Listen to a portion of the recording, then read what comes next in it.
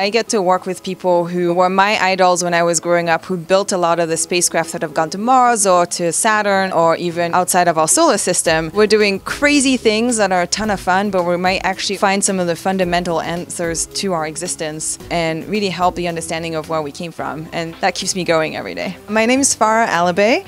I am a systems engineer and we're at the Jet Propulsion Laboratory. JPL is a NASA center that is managed by Caltech, the California Institute of Technology. I'll work with scientists who want to investigate different phenomena. I'll work with them to design their spacecraft. So I get to get hands-on sometimes, testing different components and getting them ready for space. There's a Canadian astronaut called Julie Payette. She was such an inspiration to me because I could relate to her. To me, that's what put space as reachable. I'm French Canadian, and did my engineering degree at Cambridge, did my graduate studies at MIT, interned here at JPL quite a few times, and then basically just begged people for a job until they gave in and gave it to me.